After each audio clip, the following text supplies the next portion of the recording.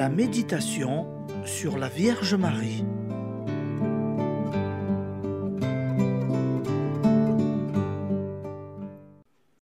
D'après le révérend Martin Luther King, pasteur baptisé, né le 15 janvier 1929, assassiné le 4 avril 1968 à Memphis, Tennessee, aux États-Unis.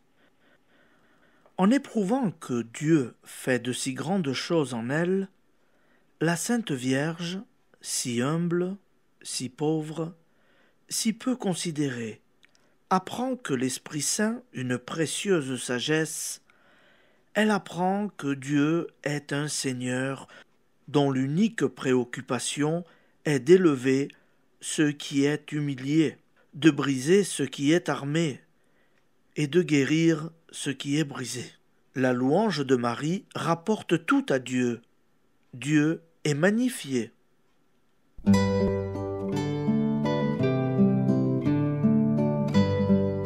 C'était la méditation sur la Vierge Marie.